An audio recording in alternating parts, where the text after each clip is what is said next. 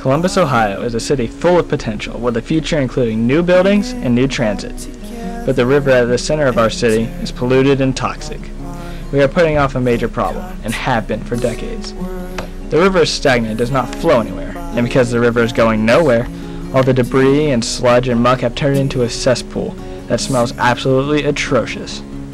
There's no one specific way to clean up the river, though several groups have tried, but those small groups alone are not enough.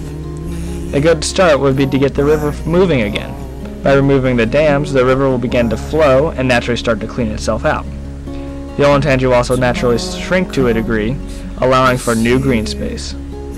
The City of Columbus has plans to do this, along with plans for a new riverfront. The Downtown Columbus Strategic Plan calls for all the dams to be removed so the cesspool can become a river again. Once that is done, other plans for cleanup and development can start. The citizens of Columbus need to push for and follow through with the city's strategic plan. Otherwise, our fair city will always have a problem. A problem that we can no longer ignore.